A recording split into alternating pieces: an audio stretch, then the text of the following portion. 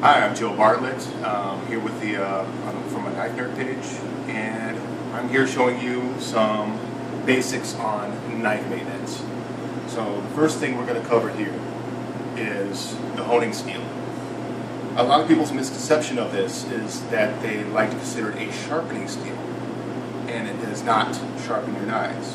What this tool is used for is for honing your knives. So basically, whenever um, you feel like you're starting to lose your edge on your knife in the middle of performance, it helps to straighten it out because with regular use of your knife, um, the steel has a tendency to bend in different directions, which makes the, the, the knife feel dull. And so what I've noticed with a lot of people with the honing steels, because they figure that they are sharpening their knives with it, is they get super aggressive with it. Not a good idea. What you're doing with that is actually doing more damage to your blade than good. And we, the more you hone your knife, the more you weaken the steel of your knife, which means you're going to have to sharpen it more often when it does come to sharpening. So here are some basic methods of how to properly, shown, uh, properly hone your knife.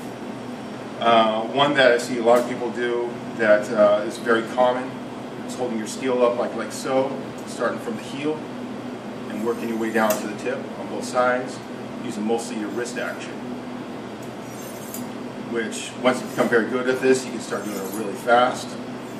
But if you're not comfortable with that method, one that I recommend that I actually like using a lot is holding your steel down to the ground, to the, I mean to the countertop, sorry, and um, holding your knife here at about a 15 to 20 degree angle and going from heel to tip on both sides on this way.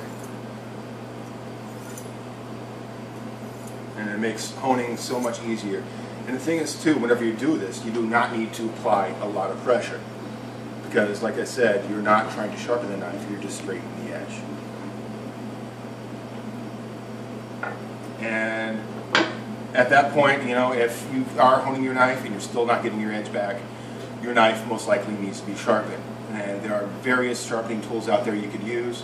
One of the most, com most common ones that you see in the restaurants that most restaurants will supply for their uh, for their employees is this heavy-duty restaurant quality um, tri-stone. So that's three different grits. Usually starts off at probably about 2400 to 300 grit, moves up to about a 400 to 600, and finishes off at about 800 to 1000. Um, me with my personal knives, sure that's great for starting them, but doesn't get them as far and as sharp as I like them.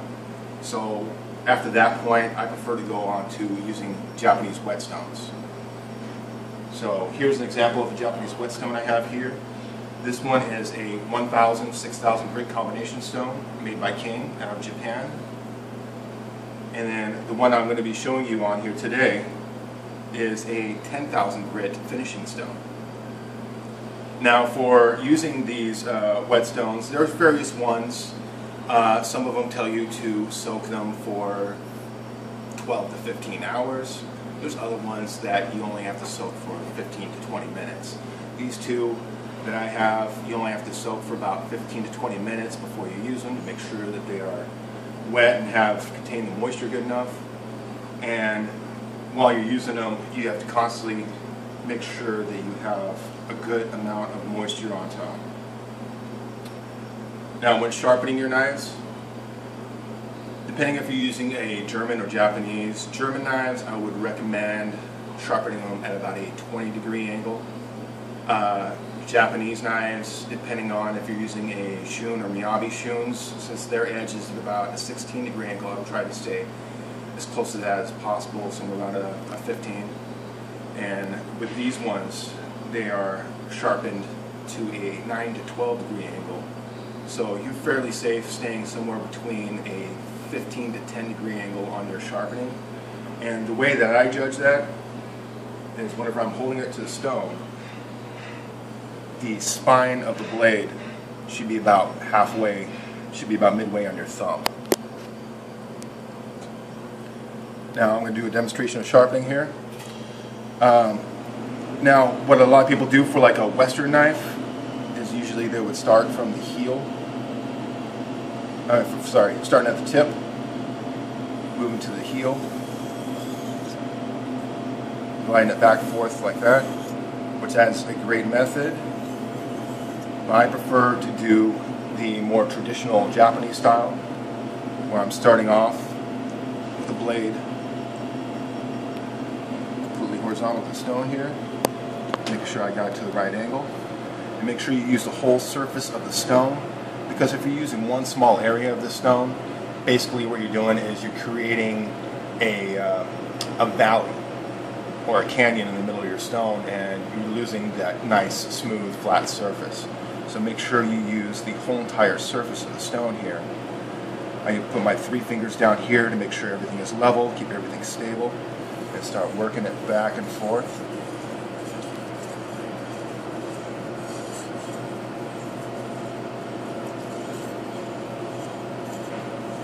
And start working your way down the knife. Now as you're working uh, your way down the knife, move it more towards a 45 degree angle. And once you get to that tip, bring the tip up a little more. Make sure you can feel that tip is hitting up against the stone. And start working it back and forth.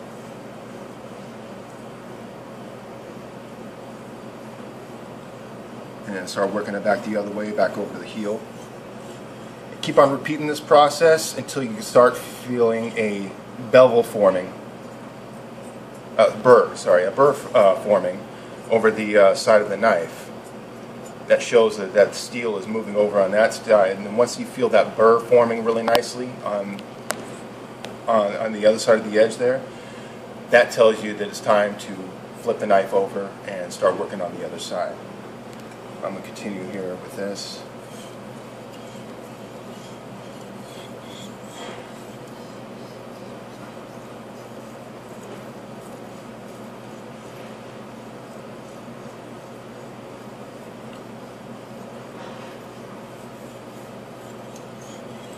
You don't need to apply a lot of pressure, just set those three fingers on there, let the stone do the work, just move it back and forth.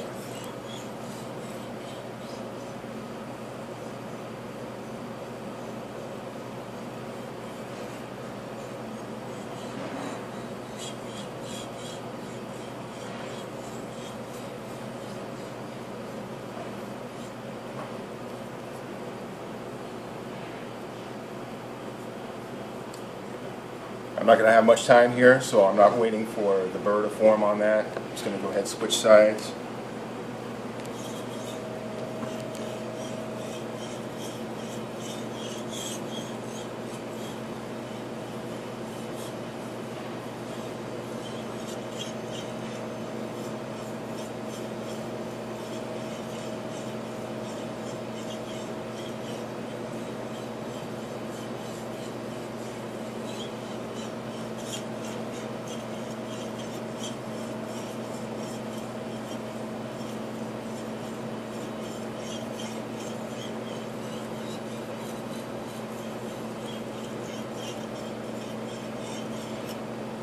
Okay.